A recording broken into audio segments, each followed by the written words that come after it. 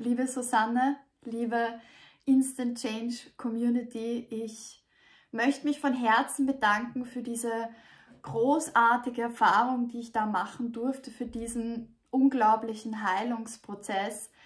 Ich muss dazu sagen, ich arbeite schon sehr, sehr lange an mir und ich habe schon sehr viel in diesem Bereich ausprobiert, was auch alles wirkungsvoll war und mir auch geholfen hat. Aber was mir an Instant Change so besonders gut gefallen hat, war, dass man wirklich in Time eine Veränderung merkt, nämlich groß, ja, ich würde fast sagen global. Es ist so wie eine Rundum-Erneuerung. Das heißt, das, was ich früher in Einzelsitzungen ganz langwierig immer ein klein, eine kleine Stellschraube sozusagen optimiert, das ist in, in diesem Instant Change Programm sozusagen in diesen drei Einheiten wurde so viel massiv verändert zum Positiven für mich.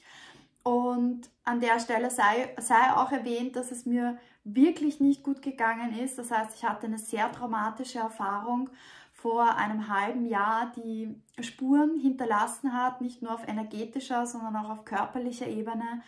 Und ich war sehr, sehr skeptisch, weil ich schon seit einem halben Jahr an diesen Dingen gearbeitet habe und es waren auch immer kleine Verbesserungen zu sehen.